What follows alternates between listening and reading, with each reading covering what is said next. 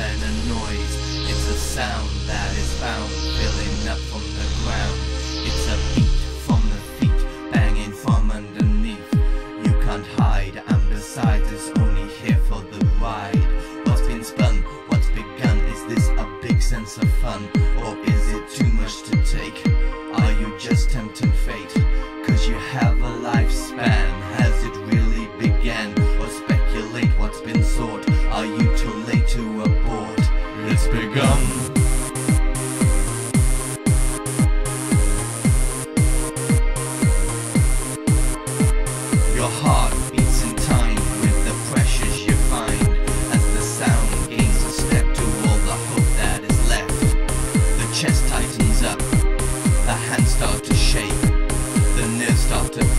By then it all feels too late.